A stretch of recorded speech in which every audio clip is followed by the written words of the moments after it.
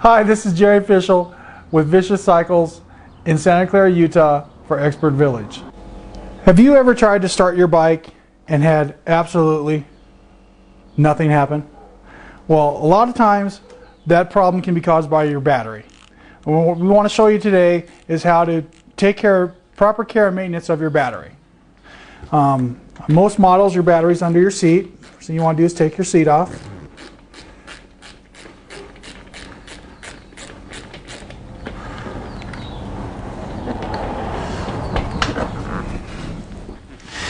And you have your battery. Batteries carry 12 volts. Should be at least 12 volts.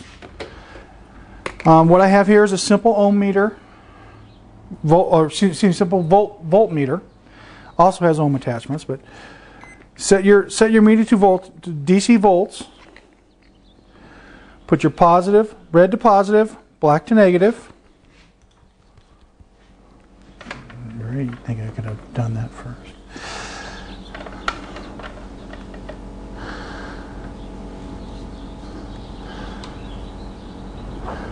Healthy battery at a with no load on it, no charge.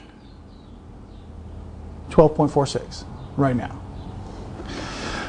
What you want to things that can cause problems with your battery is corrosion. So what you want to do is you want to check your cables for corrosions. I'll always disconnect your negative cable first.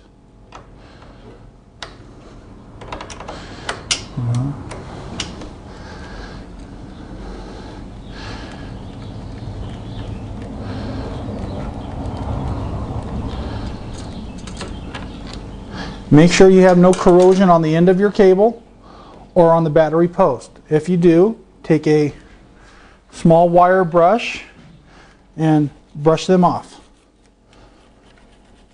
There are companies out there that make um, corrosive cleaners and um, sealers, but if you just take regular care of your battery, everything should be fine. You won't need them.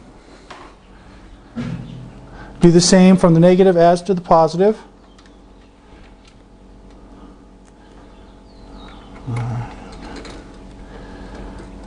When you re you disconnect both cables, be sure to tighten your positive cable first.